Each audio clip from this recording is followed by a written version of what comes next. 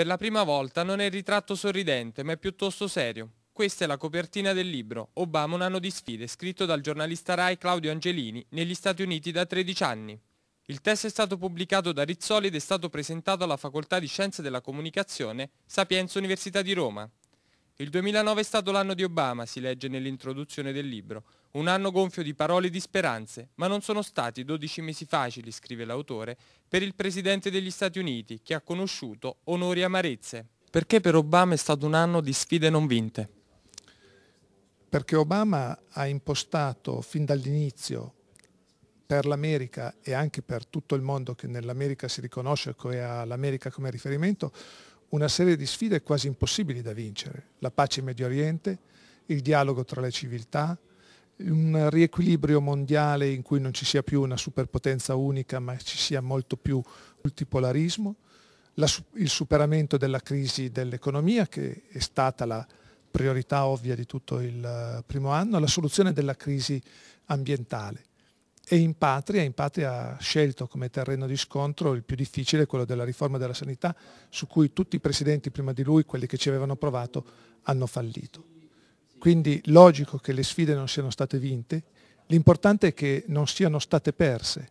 Il problema è che Obama non è quello che gli americani si sarebbero aspettati. Questo in sintesi è stato l'intervento dell'altro relatore, il professor Stefano Rizzo. Come concordo con un giudizio uh, che Angelini complessivamente dà di Obama, lì l'analisi è, è, molto, dire, molto sfumata, è molto raffinata, ecco, perché entra, trae dalle considerazioni sul suo primo anno di prova politica uh, tutti gli elementi per arrivare a una conclusione.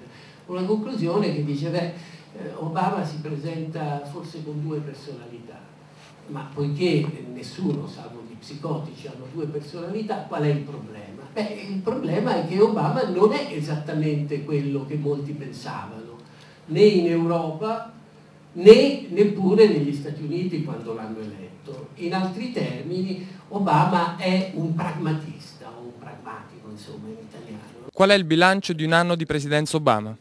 Per me è più positivo che negativo, certamente ha lanciato molte sfide, non ha ottenuto tutti i risultati che sognava di ottenere, non poteva ottenerli, però uno l'ha ottenuto, quello di aver cambiato eh, l'immagine dell'America agli occhi del mondo, di averle ridato credibilità come paese che vuole la pace, come paese del dialogo e della diplomazia e questo secondo me è un risultato eccezionale che pochi si potevano aspettare dopo la precedente presidenza. Il giornalista infatti scrive nel libro Obama non è perfetto, ma è la migliore carta giocata in questi anni dalla Statua della Libertà.